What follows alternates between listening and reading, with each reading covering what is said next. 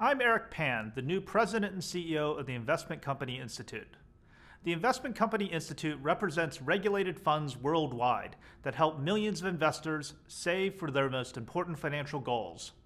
2021 is a year of new challenges and opportunities in which the world is starting to look beyond the pandemic, a new U.S. presidential administration and Congress are at work in Washington, and rapid growth in global markets and in technology continues apace. In light of these developments, I would like to share with you ICI's top priorities in 2021.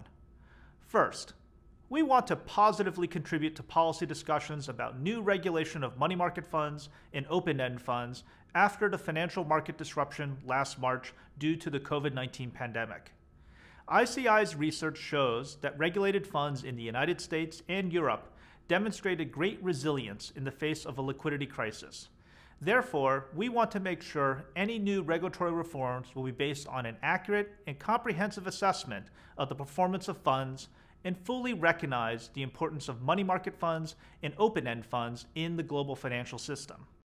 Second, as investors express greater interest in environmental, social, and governance issues, ICI urges policymakers in the United States and abroad to adopt a single global framework for corporate ESG disclosure.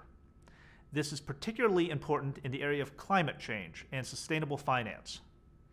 ICI will be making the case that climate risk disclosure should be rooted in recommendations of the Task Force on Climate Related Financial Disclosures, or TCFD, and the standards established by the Sustainability Accounting Standards Board, or SASB.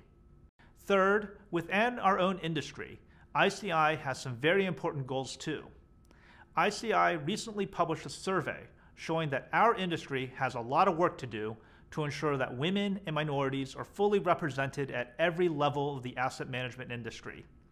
ICI and the fund industry are committed to building a more diverse and inclusive workforce, reflecting the investors we serve. Fourth, ICI wants to take a hard look at how technology and data will impact our industry. New technology offers an opportunity to lower costs and make funds more accessible to investors. At the same time, distributed ledger technology and artificial intelligence also will change how financial services are provided to investors.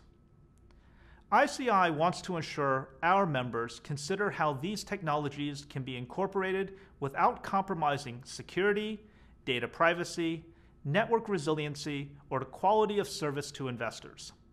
Finally, as we look ahead, much of our industry's growth will come from international markets, and regulatory developments in Europe will impact how our members operate around the world. ICI, through ICI Global, will be engaging international regulators to ensure the best outcomes for members.